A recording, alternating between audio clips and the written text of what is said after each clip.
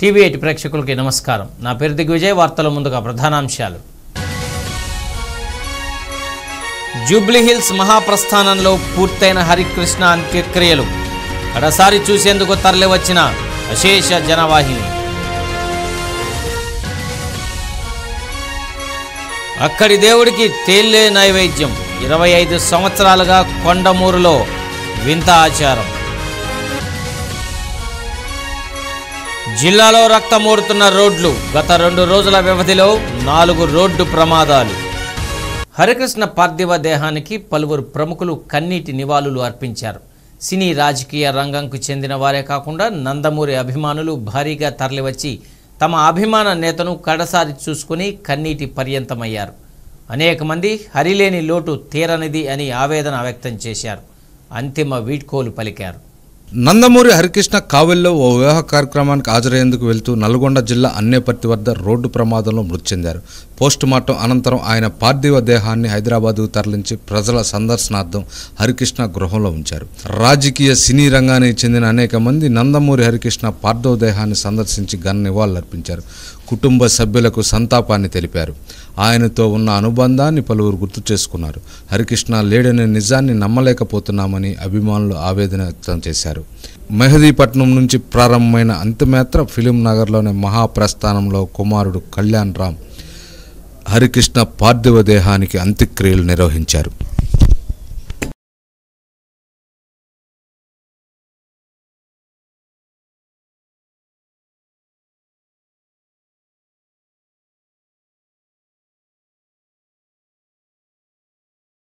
నమస్కారం అండి. ఈరోజు ఉదయం ఈరోజు ఉదయం లేవగానే చాలా బ్యాడ్ న్యూస్తో లేచాను మా మిత్రుడు నన్ను ఎప్పుడు సోదరుడు సోదర సోదర అని పిలిచేవారు. హరీష్ గారు లేరు. యాక్సిడెంట్ జరిగింది అని చెప్పారు. నమ్మలేకపోతే నాకు టీవీలో వెళ్ళి చూస్తే ఆ సీన్ చూస్తే నాకు మనసు మొత్తం కదిలిపోయింది. అసలు నమ్మలేకపోయింది నేను. హరికృష్ణ గారు నాకు లాహిరి లాహిరి లాహిరి సినిమాలో నాకు పరిచయం అయ్యారు. రోజు షూటింగ్ వస్తే ఆయనతో పాటు టిఫిన్ భోజనం చేయడం.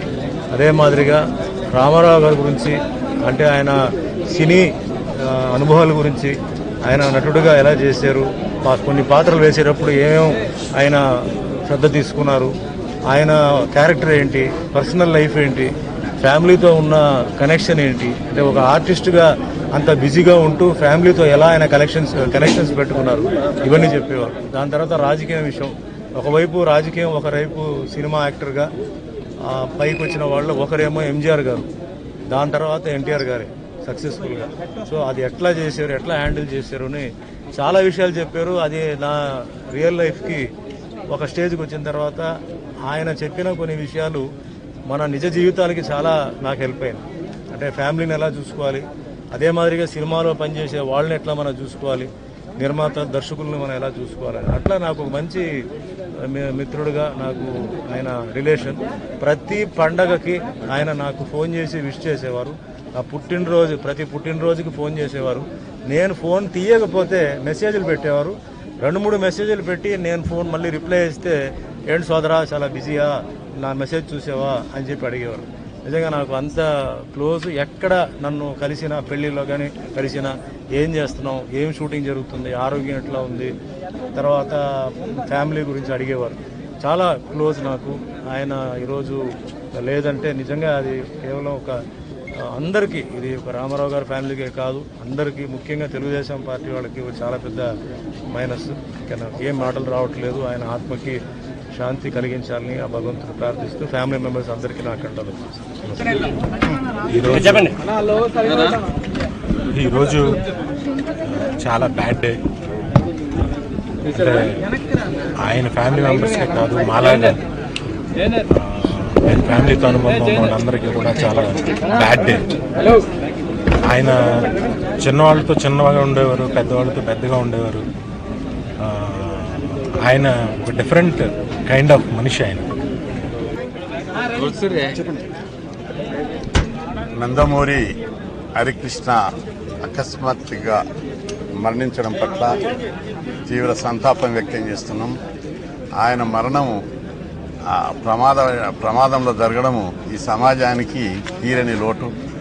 నందమూరి వంశం ఈ సమాజానికి ఎన్నో సేవలు చేస్తుంది. ఎన్టీ రామారావు నుంచి ఆ తర్వాత క్రమం లోపల కూడా సామాజిక సమస్యల మీద హరికృష్ణ అనేక సార్లు స్పందించినటువంటి ఘట్టాలున్నాయి ఆయన ఆత్మకు శాంతి కలగాలని భగవంతుని ప్రార్థిస్తాను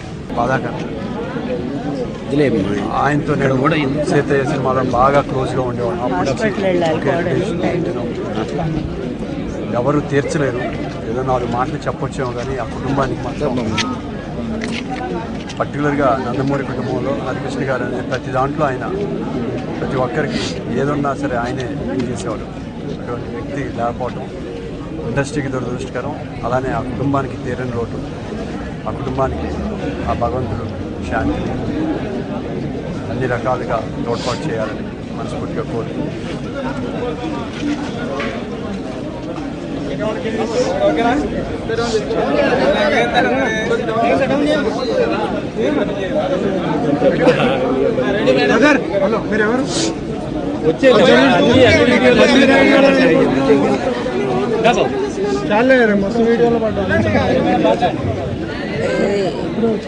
ఎలా చెప్పాలో కూడా అర్థం కానంత విషాదం మా కుటుంబంలో రావటం మేము చేసుకున్న దురదృష్టం అనుకుంటాను. ఊహించిన విషయం ఊహించిన విధంగా ఈరోజు జరిగినటువంటి ఈ భయంకరమైన సంఘటన ఇంకా మేము జీర్ణింపు చేసుకోలేకపోతున్నాము. ఇది నిజమా కళ అనేది కూడా మాకు అర్థం కాకుండానే ఉంది. చూశాక కానీ వాస్తవం చూస్తే గుండె పగిలిపోయేంత బాధేస్తూ ఉంది. ఎందుకంటే ఎన్టీఆర్ గారి చాలా ఇష్టమైన అబ్బాయి హరికృష్ణ. ఆయన వ్యక్తిత్వం కూడా ఎంతో మంచిది. ఎంత బోల్డ్గా ఉంటారో అదేవిధంగా ఎంత ఓపెన్ మైండ్గా ఉంటారో ఏదైనా సరే ఓ మరి నిజాన్ని అడగాలంటే ధైర్యంగా అడుగుతూ ఉంటారు.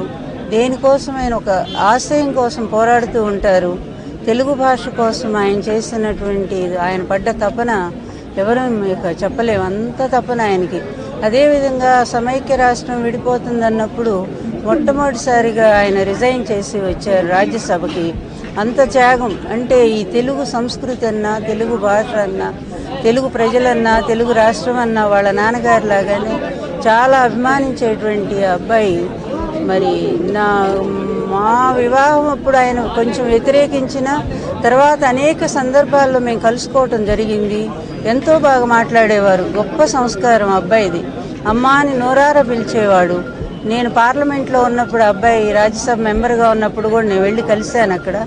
ఎన్టీఆర్ గారి భారతరత్న ఇప్పించుకోవాలయ్యా అంటే తప్పకుండా అమ్మా అని ముందు సంతకం పెట్టిందే అబ్బాయి. పెట్టడమే కాదు తను కొన్ని ఫారాలు తీసుకొని నేను కూడా ఇస్తాను లోపల అని చెప్పి తీసుకోవడం జరిగింది. అంత కోఆపరేట్ చేశారు నాకు. తర్వాత ఎప్పుడు కూడా ఎప్పుడన్నా ఎదురుపడ్డా ఫంక్షన్స్లో కూడా చాలా అప్యాయంగా మాట్లాడేవారు. మంచి మనసు అబ్బాయిది. కానీ ఈ కుటుంబానికి ఇట్లాంటి మరి పరిస్థితి దెబ్బ మీద దెబ్బ తగలటం అంటే ఎవరు తట్టుకోలేనటువంటి విషయం ఇది. అందుకే ఏం చెప్పాలో కూడా మాటలు రాకుండా ఉంది. ఒక్కటే కోరుకుంటున్నాను. ఆయన ఆత్మకు శాంతి కలగాలి. హరికృష్ణ గారు రోడ్డు ప్రమాదంలో చనిపోవడం నిజంగా చాలా బాధాకరమైన విషయం. హరికృష్ణ గారితో రెండు సినిమాలు చేశాను నేను. చాలా గొప్ప వ్యక్తి. చాలా సింపుల్ మ్యాన్. కొన్ని సందర్భాల్లో ఆయన్ని చూస్తే నాకు ఎప్పుడు ఒక టైగర్లాగా అనిపించింది. నేను హైదరాబాద్ వచ్చినప్పటి నుంచి నాకు నేను కొన్ని సందర్భాల్లో చూశాను వారిని. టైగర్ లాగా అనిపించేది ఆయన చూస్తే. టైగర్ హరిచంద్ర ప్రసాద్ అనే సినిమా నిజంగా ఆయనకి యాప్ట్ ఆయనకి ఆ టైటిల్. ఒక్క నిమిషం. సో ఈ సందర్భంలో వారి ఆత్మకి శాంతి కలగాలని వారి కుటుంబానికి నా ప్రగాఢ సానుభూతి తెలియజేస్తున్నాను. థ్యాంక్ యూ అందరికీ నమస్కారం. అన్నయ్య హరికృష్ణ గారు మన మధ్య లేడు ఆయన.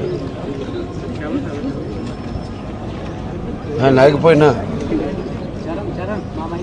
భూమి మీద ఎంతో మంది పుడతారు గెడతారు కానీ అన్నిటికీ అతీతంగా అంటే ఆయన ఒక నటుడిగా గత స్మృతుల్లోకి వెళ్తే అప్పుడు నేను అన్నదమ్ముల అనుబంధం చేసినప్పుడు నాన్నగారు ఆయన కూడా పంపించారు ఆయన. అన్నయ్య గారు. చూసుకో తమ్ముడు జాగ్రత్తగా. తర్వాత నేను ఆయన కలిసి రామరహీం సినిమా చేయడం జరిగింది. తాతమ్మ కళ. అన్నిటికంటే ముఖ్యంగా ఆయన వ్యక్తిత్వం అంటే కలుపుకొలుతాను. అంటే అన్నిటికీ అతీతంగా ఆయన తర్వాత రాజకీయాల్లోకి వచ్చినా కూడా పార్టీలకు అతీతంగా అందరూ. ఆయన ఇప్పుడు ఆయన కలుపుకోలుతానని ఆయన ఉన్న అలాగే అప్పుడప్పుడు నాన్న కానీ గుర్తు చేస్తూ ఆయన ఆఫీసులో కానీ లేకపోయినా మన మధ్య ఆయన మనందరి యొక్క హృదయాల్లో గుండెల్లో శాశ్వతంగా అది నాకే కాదు మా అన్నదమ్ములకే కాదు. నిజంగా చెప్పాలంటే మాకంటే కూడా అటు ఆయన మా ఊళ్ళో పెరిగారు ఆయన. అక్కడ తాతగారి దగ్గర. అన్నదమ్ముల కంటే కూడా అక్కడ ఆయన బంధువులతో ఏంటి? ప్రతిదీ. ప్రతి బంధువు ఎవరు? ఏంటి అనేది అందరికంటే కూడా మా అందరికంటే ఇక్కడ బాగా ఎక్కడికి వెళ్ళినా ఎప్పుడు ఊరు వెళ్ళినా అందరిని పలకరించడం. అలాగే ఇక్కడ పార్టీలో ఉన్నా కూడా ఆయన అందరితో కూడా ఎంతో కలుపుకోలుతనంగా ఎంతో అన్ని పార్టీలు ఎవరైనా సరే అందరితో కాల చాలా కలుపుకోలుతనంగా ఉన్నారు. ఆయన వాళ్ళు లేకపోవడం మాకే కాదు మా కుటుంబానికే కాదు. పార్టీ కార్యకర్తలకి లేకపోతే. ప్రకాశం జిల్లా చినగంజాం వద్ద రోడ్డు ప్రమాదం జరిగింది. పెళ్ళి బృందంతో ఓ టెంపో వాహనం జాతీయ రహదారిపై వెళ్తున్న లారీని వెనుక నుంచి ఢీకొట్టింది నెల్లూరులో జరిగిన వివాహ రిసెప్షన్ వేడుక ముగించుకొని చీరాల వైపు టెంపో వాహనంలో వెళ్తున్న పన్నెండు మందిలో ఆరుగురు తీవ్రంగా గాయపడ్డారు. వారిని చికిత్స నిమిత్తం వన్ నాట్ ఎయిట్ వాహనంలో చీరాలలోని ఆసుపత్రికి తరలించారు. సమాచారం తెలుసుకున్న ఎస్ఐ ఆవుల వెంకటేశ్వర్లు ఘటనా స్థలానికి చేరుకొని పరిశీలించారు. అనంతరం క్షతగాత్రుల వివరాలను వెల్లడించారు. టెంపోలో ప్రయాణిస్తున్న పన్నెండు మందిలో తొమ్మిది మంది చీరాలకు చెందినవారు కాగా మిగతా వారంతా గుంటూరు జిల్లా చిలకలూరుపేటకు చెందినవారుగా గుర్తించారు.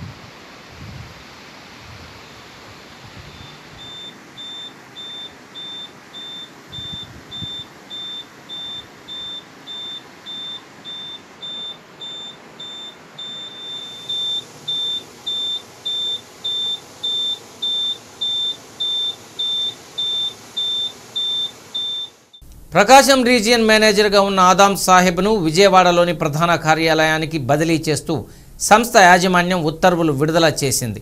సంస్థ తరపున కొందరికి స్థాన చలనం కల్పించిన నేపథ్యంలో ఆ జాబితాలో ఆదాం సాహెబ్ బదిలీ ఉంది. ఆయన స్థానంలో ప్రకాశం రీజియన్కు నూతన మేనేజర్గా జి. విజయ్ గీత బాధ్యతలు చేపట్టనున్నారు. ప్రస్తుతం ఈమె విజయవాడలో డిప్యూటీ స్పెషల్ చీఫ్ మేనేజర్గా ఉన్నారు. ఆదాం సాహెబ్ స్థానంలో త్వరలోనే ఆమె బాధ్యతలు చేపడతారని ప్రకాశం రీజియన్ అధికారిక వర్గాలు వెల్లడించాయి. నందమూరి హరికృష్ణకు కృష్ణా జిల్లాతో విడదీయలేని అనుబంధం ఉంది. నిమ్మకూరులో పుట్టి ఇక్కడే పెరగడంతో ఆయన మధుర జ్ఞాపకాలన్నీ జిల్లాతోనే ముడిపడి ఉన్నాయి.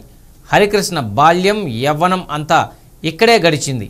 ఆయన మిత్రులు బంధువులు అంతా కృష్ణా జిల్లాలోనే ఎక్కువగా ఉండడంతో తరచూ వివిధ పనులు శుభకార్యాలకు హాజరయ్యేందుకు విజయవాడ వచ్చి వెళుతూ ఉండేవారు. హరికృష్ణ తన తాత వద్ద పెరిగారు. పదో తరగతి వరకు నిమ్మకూరు జడ్పీ పాఠశాలలో చదువుకున్నారు. తోటవల్లూరు మండలం గరికపరికి చెందిన లక్ష్మిని వివాహం చేసుకున్నారు. ఆ గ్రామంతోనూ మంచి అనుబంధం ఉంది. తరచుగా వచ్చి వెళ్ళేవారు. తోటవల్లూరు పామరు మండలాల ప్రజలకు ఎక్కువగా అందుబాటులో ఉండేవారు హరికృష్ణ. ఎప్పుడొచ్చినా మొహంలో నవ్వు చెరక్కుండా ఆప్యాయంగా పలకరించే హరన్న ఇక లేడనే వాస్తవాన్ని జీర్ణించుకోలేక నిమ్మకూరుతో సహా అనేక ప్రాంత వాసులు తీవ్ర విషాదంలో మునిగిపోయారు. నందమూరి హరికృష్ణ మృతితో కృష్ణా జిల్లాలోనూ విషాదం అలుముకుంది. పామర్రు గుడివాడ నియోజకవర్గాలతో ఆయనకు విడదీరాని అనుబంధం ఉంది. హరికృష్ణతో తమకున్న అనుబంధాన్ని ఆ ప్రాంత అభివృద్ధికి ఆయన చేసిన కృషిని ప్రజలు నాయకులు గుర్తు చేసుకుంటున్నారు. జన్మనిచ్చిన తల్లికి జన్మనిచ్చిన గ్రామానికి తన పరిధిలో ఎంత చేసినా రుణం తీర్చలేనిదని హరికృష్ణ తరచూ చెప్తుండేవారు. ఆ మాట ప్రకారం స్వగ్రామమైన నిమ్మకూరుతో పాటు నిబాన్పూడి మువ్వ మండలాల్లోని ఔరుపూడి పెద్ద ముత్తేవి గ్రామాల అభివృద్ధికి ఆయన కృషి చేశారు. ఆయన రాజ్యసభ సభ్యుడిగా ఉన్న కాలంలో కోట్ల రూపాయల నిధులను అభివృద్ధి పనులకు కేటాయించారు. తమ గ్రామాల అభివృద్ధికి కృషి చేసిన హరికృష్ణ ఇక లేరు అనే వాస్తవాన్ని ఆ ప్రాంత ప్రజలు జీర్ణించుకోలేకపోతున్నారు. జిల్లాలోని కరువు మండలాల్లో ఉపాధి హామీ పని దినాలను నూట యాభై రోజులకు పెంచుతూ ఉపాధి హామీ కూలీలకు ప్రభుత్వం ఊరట కలిగించింది. జిల్లాలో నెలకొన్న కరువు పరిస్థితి నేపథ్యంలో జాతీయ గ్రామీణ ఉపాధి హామీ పథకం కింద పనిచేసే కూలీలకు ప్రభుత్వం ఊరట కల్పించింది.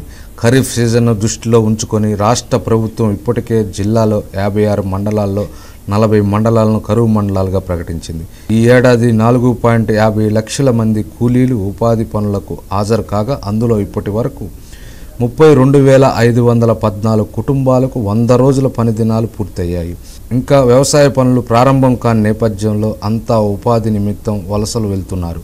ఈ నేపథ్యంలో పని దినాలను వంద నుంచి నూట యాభై రోజులకు పెంచుతూ రాష్ట్ర పంచాయతీరాజ్ ముఖ్య కార్యదర్శి జవహర్ రెడ్డి ఉత్తర్వులు జారీ చేశారు.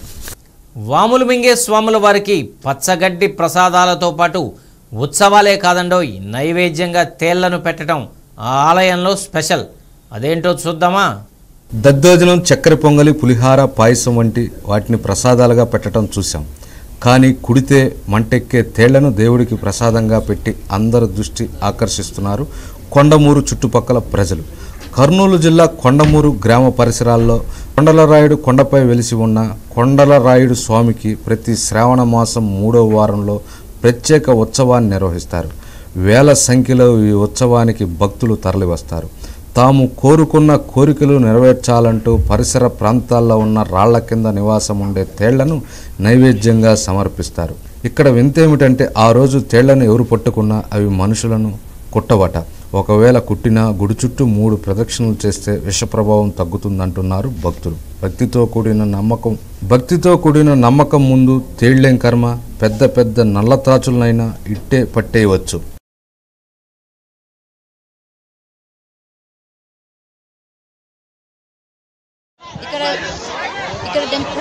ప్రతి ఇయర్ ఇక్కడ శ్రావణ మాసంలో థర్డ్ వీక్లో ఇక్కడ ఫెస్టివల్ జరుగుతుంది. Um, ఏమైనా కోరికలు ఉన్నాయనుకో పేరు తీసుకెళ్ళి దేవుడి దగ్గర సమర్పిస్తే మనకు ఆ కోరికలు నెరవేరుతాయని నమ్మకం. నియర్లీ ట్వంటీ ఫైవ్ ఇయర్స్ నుంచి ఈ ఫెస్టివల్ జరుగుతుంది. Uh, తేలి రోజు ఏం పట్టుకున్నా ఏం ఏం చేయవు. ఒకవేళ ఏమైనా చేసినా గుడి చుట్టూ త్రీ టైమ్స్ తిరిగి ప్రదక్షిణాలు చేస్తే ఏం కాదని కర్నూలు జిల్లాలోని కోడుమూరు కొండల కొండల రాయుడు దగ్గర ప్రతి సంవత్సరం శ్రావణ మాసంలో మూడో సోమవారం ఇక్కడ తేళ్ళ పండుగ లాంటిది నిర్వహిస్తారు. ఇక్కడ ఈరోజు ఏ తేలిని పట్టుకున్నా ఏం చేయవు. ఇక అందరూ ఇది నమ్ముతారు. ఒకవేళ కుట్టి ఒకవేళ తేలు కుట్టినా సరే దేవుని చుట్టూ మూడు సార్లు ప్రదక్షిణలు చేస్తే తగ్గుతుందని ఇక్కడ ఆచారం. ఇక్కడికి వస్తే మనం కోరుకున్న కోరికలన్నీ నెరవేరుతాయి. పిల్లలు అయితే బాగా చదువుకోవాలని కోరుకుంటే కాపు రిజర్వేషన్కు చట్టబద్ధత కల్పించాలంటూ ఆల్ ఇండియా కాపు ఫెడరేషన్ ఆధ్వర్యంలో స్థానిక కలెక్టరేట్ ఎదుట ధర్నా నిర్వహించారు. ఈ సందర్భంగా ఫెడరేషన్ నాయకులు మాట్లాడుతూ పార్లమెంటులో ప్రవేశపెట్టిన కాపు రిజర్వేషన్ బిల్లుకు అన్ని పార్టీలు మద్దతు తెలియజేయాలని డిమాండ్ చేశారు. కరవముంటే కప్ప కోపం విడవముంటే పాము కోపం అన్నట్లుంది కాపు రిజర్వేషన్ల పరిస్థితి. కాపులను బీసీలో చేరుస్తూ రిజర్వేషన్ కల్పించిన రాష్ట్ర ప్రభుత్వం బీసీ వర్గాల నుంచి వ్యతిరేకత ఎదుర్కొంటుండగా తమ కాపు రిజర్వేషన్ బిల్లుకు చట్టభద్రత కల్పించాలంటూ కాపు సామాజిక వర్గం రాష్ట్ర వ్యాప్తంగా ఆందోళనకు దిగుతుంది. వచ్చే పార్లమెంటు సమావేశాల్లో కాపు రిజర్వేషన్ బిల్లుకు చట్టభద్రత కల్పిస్తూ ప్రైవేటు బిల్లు పెట్టాలని డిమాండ్ చేస్తున్నారు.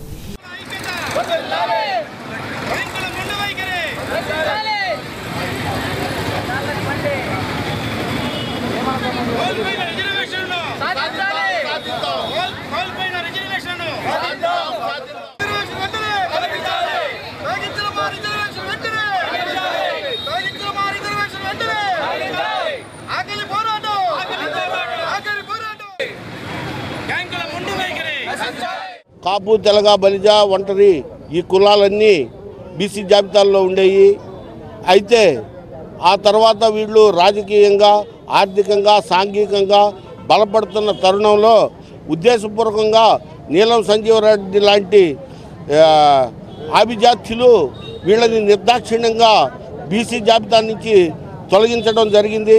అప్పటి నుండి ఈ కులాలు అనేక రకాలైన వివిధ రకాలుగా పోరాటాలు చేస్తూనే ఉన్నారు. ఆ తర్వాత కాలంలో నే దామోదర్ సంజీవయ్య గారు పంతొమ్మిది వందల అరవై ఆరులో కొంతకాలం బీసీ జాబితాగా కాపుల్ని చేర్చారు. ఆ తర్వాత వచ్చిన బ్రహ్మానంద రెడ్డి గారు తిరిగి మమ్మల్ని బీసీ జాబితాలోంచి తొలగించడం జరిగింది. అప్పటి నుండి నిరంతరం మేము పోరాటం చేస్తూనే ఉన్నాం. ఈ కాంగ్రెస్ పార్టీ మమ్మల్ని ప్రతిసారి మోసం చేస్తూనే ఉంది. ప్రతిసారి వాళ్ళ ఎన్నికల ప్రణాళికలో కాపుల్ని బీసీలో చేరుస్తాం. కాపుల ఓట్లు మాకేయండి అని అంటుంది. అన్న తర్వాత కాపుల ఓట్లతోటి వాళ్ళు రాజ్యాధికారం సంపాదించి ఆ తర్వాత మాకు మొండి చేయి చూపడం జరిగింది. దాని పర్యవసానమే వాళ్ళు ప- అధో పాతాళానికి పోయారు. నామరూపాలు లేకుండా పోవటం కూడా జరిగింది. కాపుల్ని ఎవరైతే మోసం చేస్తారో వాళ్ళు ఏ ఇది లేకుండా పోతారు. అదేవిధంగా మేము చంద్రబాబు నాయుడు గారిని అడగటం జరిగింది. ఆయన మిమ్మల్ని మేము అధికారంలోకి వస్తే తెలుగుదేశం పార్టీ అధికారంలోకి వస్తే మిమ్మల్ని బీసీలో చేరుస్తామని మాకు అప్పుడు హామీ ఇచ్చాడు. దాని ప్రకారంగానే ఒక నాలుగు సంవత్సరాల తర్వాత కాపు ఉద్యమాల ఫలితంగా ఆయన అర్ధాంతంగా మమ్మల్ని ప్రకాశం జిల్లా ప్రజలకు సుపరిచితమైన ఒంగోలులోని వెంకటరమణ నర్సింగ్ హోమ్ తన సేవలను యాభైవ వార్షికోత్సవంలోకి ప్రవేశించింది. ఈ సందర్భంగా ఉచిత మెగా వైద్య శిబిరాన్ని నర్సింగ్ హోమ్ ఆవరణలో నిర్వహించారు. ఈ వైద్య శిబిరాన్ని స్థానిక ఎమ్మెల్యే దామచల జనార్దన్ ప్రారంభించారు. వెంకటరమణ నరసింహం యాభై వార్షికోత్సవం సందర్భంగా హాస్పిటల్ ఆవరణలో మెగా వైద్య శిబిరాన్ని నిర్వహించారు. రోగులకు ఉచితంగా వైద్య పరీక్షలు నిర్వహించి మందులు పంపిణీ చేశారు. రోగులకు నిర్వహించే సంబంధిత టెస్టులకు ప్రత్యేక రాయితీ కల్పించారు. ఈ సందర్భంగా డాక్టర్ సీతారామయ్య మాట్లాడుతూ తమ హాస్పిటల్లో మరో మూడు ప్రత్యేక విభాగాలను త్వరలో అందుబాటులోకి తేనున్నట్టు తెలిపారు. నలభై తొమ్మిది సంవత్సరాలు కంప్లీట్ చేసుకొని యాభై సంవత్సరంలో అడుగుపెడుతూ ఒక మంచి కార్యక్రమాలను కూడా ఈరోజు ఏర్పాటు చేయడం జరిగింది. దానికి ఒకసారి మనం గమనించుకుంటే పాత రోజుల్లో వెంకటరమణ గారు డాక్టర్ గారు ఒక బెస్ట్ డాక్టర్గా మన సమాజంలో అనేక మందికి సేవలు అందిస్తూ అప్పుడు కూడా హాస్పిటల్స్ కూడా సరిగ్గా లేని పరిస్థితుల్లో ఆ రోజుల్లోనే ఇంత పెద్ద హాస్పిటల్ కట్టి ఒక మంచి సేవా తత్వంతో అనేక మందికి సేవలు అందించిన వ్యక్తి మన వెంకటరమణ డాక్టర్ గారు. ఈరోజు ఆయన యాభై సంవత్సరాలు ఈరోజు హాస్పిటల్ అయింది అంటే ఈరోజు దీనివల్ల ఎంతమందిని ఈరోజు వచ్చిన పేషెంట్స్ని చూశారు అనేది కూడా మనం ఒకసారి చూడాల్సిన విషయం. దాంతోపాటు ఈరోజు మన సీతారామయ్య గారు కానీ మన చంద్రశేఖర్ గారు కానీ మళ్ళీ వాళ్ళ మిస్సెస్ వాళ్ళు కూడా ఉం, సుబ్రహ్మణ్యేశ్వర గారు కానీ రమాదేవి గారు కానీ వీళ్ళందరూ కూడా ఈరోజు ఫ్యామిలీ టీమ్గా కూడా తయారయ్యి ఒక అన్ని స్పెషాలిటీ హాస్పిటల్గా ఈరోజు దీన్ని వెంకటరమణ డెవలప్ చేసి ఈరోజు ఇక్కడికి వస్తే ఏది లేనన్నట్టు ఈరోజు సిటీ స్కాన్ కానీ ఎంఆర్ఐ కానీ లేకపోతే యాంజియో కానీ ఇవన్నీ కూడా చేసుకొని మన హాస్పిటల్ని కూడా ఈరోజు ఒంగోలులో ఒక చెప్పుకోదగ్గ ఒక మంచి సూపర్ స్పెషాలిటీ హాస్పిటల్ని కూడా చేయడం జరిగింది. దానికి ఏదైనా కూడా ఈ ఫ్యామిలీ మెంబర్స్ కూడా ఎంతో కష్టపడుతూ దీనికి ఒక మంచి పేరును కూడా తీసుకొని రావటం అనేది కూడా యాభై సంవత్సరాల్లో ఒక మంచి పేరు రావటం అనేది చాలా కష్టమైన విషయం. అలాంటిది ఈరోజు ఒంగోలు అనగానే వెంకటరమణ హాస్పిటల్ అనేది ఒక రికగ్నైజ్డ్ కూడా తీసుకురావడంలో ఈ హాస్పిటల్ కూడా ఉందని చెప్పేసి కూడా తెలియజేస్తా ఉన్నా. ఈరోజు అనేక మంది డాక్టర్స్ కానీ ఎంతోమంది ఈరోజు కొత్త వాళ్ళు వచ్చినా కూడా దీనికి ఎప్పుడు కూడా వెంకటరమణ హాస్పిటల్కి ప్రజల్లో ఒక స్థిరస్థాయిగా గుర్తుండేటట్టుగా వీళ్ళందరూ కూడా ఈ కార్యక్రమాలు చేసుకోవటం చాలా సంతోషం విషయం అని చెప్పి తెలియజేస్తూ ఈరోజు దానికోసం అని చెప్పి వీళ్ళని అభినందించడానికి మేమంతా వచ్చాం. తప్పకుండా భవిష్యత్తులో ఇంకా మంచి పేరు ప్రతిష్టలు రావాలని హాస్పిటల్కి. ఆ విధంగా మన వాళ్ళు కూడా కష్టపడి వాళ్ళ తండ్రి వెంకట వెంకటరమణారావు గారికి ఒక మంచి పేరు తీసుకురావాలని చెప్పి ఈ సందర్భంగా కోరుకుంటూ సెలవు తీసుకుంటాం ఫంక్షన్ ప్రారంభించి యాభై సంవత్సరం వచ్చిన సందర్భంగా ఈరోజు ఫ్రీ ఓపీ క్యాన్ పెట్టి భోజనాలు అరేంజ్ చేయడం జరిగింది. మన ఎమ్మెల్యే గారు దామసారి జనార్దన్ గారిని ఏమని కోరినందున ఆయన ఈరోజు వచ్చి నేను ప్రారంభోత్సవాన్ని చేసి మాకు చాలా సంతోషంగా ఉంది. మేము మొదలు పెట్టినప్పుడు ఒక రూపాయి ఛార్జీ తోటి ఓపీ చూసేవాళ్ళం ఆరు నెలలు. పేషెంట్లకి ఆరు నెలలు ఏ జబ్బుతో వచ్చినా ఒక రూపాయి ఛార్జ్ చేసేవాళ్ళం. పేషెంట్ కూడా వాళ్ళు ఇచ్చిన డబ్బులు తీసుకొని వైద్యం చేసేవాళ్ళం. మేము ఎప్పుడు ఛార్జ్ పలానా ఇంత అని బిల్లుని వేసేవాళ్ళం కూడా కాదు. అలాగా నేను దగ్గర దగ్గర ఈ మల్టీ స్పెషాలిటీ హాస్పిటల్ వచ్చిన వచ్చినప్పటికి కూడా అప్పటికి కూడా అదే ఛార్జీలతోటి స్లోగా పెంచుకుంటూ వచ్చాం. తర్వాత తొంభై నాలుగులో ఈ మల్టీ స్పెషాలిటీ హాస్పిటల్ ప్రారంభోత్సవం జరిగింది. ఎందువల్ల మా పిల్లలు వస్తున్నారనే ఉద్దేశంతో నేను హాస్పిటల్ కట్టడం తొంభై నాలుగులో తొంభై నాలుగులో ఎన్టీఆర్ గారిని ఓపెన్ చేయమని జరిగితే ఆయన ఏదో హెల్త్ బాగలేక రాకపోవడం వల్ల కాకర సుబ్బారావు గారు ఓపెన్ చేశారు ఈ హాస్పిటల్. అప్పటి నుంచి ఈ మల్టీ స్పెషాలిటీ హాస్పిటల్ వల్ల బెస్ట్ హాస్పిటల్ ఇది. వరద నీటితో కన్నీటి పర్యంతమైన కేరళను ఆదుకోవడానికి మనసున్న మనుషులు చేయూతనిస్తున్నారు. ఈ క్రమంలోనే ప్రకాశం జిల్లా మార్కాపురం రెవెన్యూ డివిజన్ కార్యాలయ సిబ్బంది తాము విరాళాల రూపంలో సేకరించిన నిత్యావసర వస్తువులు లారీలో కేరళకు పంపించి తమ దాతృత్వాన్ని చాటుకున్నారు. వరదలతో సర్వం పోగొట్టుకున్న కేరళ ప్రజలకు మన రాష్ట్రం నలుమూల నుంచి విరాళాలు పోగు చేసి అవసరమైన వస్తువులను నిత్యావసరాలను కేరళ పంపిస్తున్నారు. ఈ కార్యక్రమంలో తాము కూడా అంటూ మార్కాపురం రెవెన్యూ డివిజన్ కార్యాలయ సిబ్బంది విరాళాలను సేకరించి నిత్యావసర సరుకుల లారీని ఆర్డీఓ కార్యాలయ AO Mallikarjuna Prasad deputy tahsildar Mallikarjunarao RI శ్రీనివాసరావులు జెండా ఊపి ప్రారంభించారు.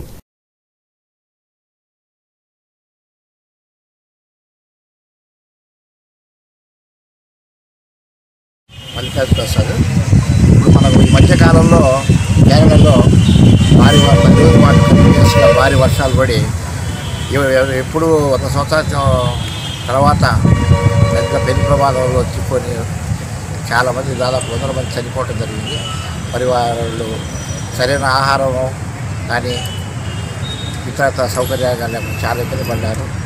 ఈ సందర్భంగా మానవతా దృక్పథంతో ప్రతి ఒక్కళ్ళు సహాయం చేయాలని చెప్పేసి పిలిపించిన మేరకు మన జిల్లా కలెక్టర్ గారు ఆదేశాల మేరకు మన ఆర్డీఓ గారు ఇక్కడంతా కూడా మన డివిజన్లోని అందరు తహసీల్దార్లను ఇతర ఇన్స్టిట్యూషన్స్ను అందరినీ కూడా విజ్ఞప్తి చేయడం జరిగింది.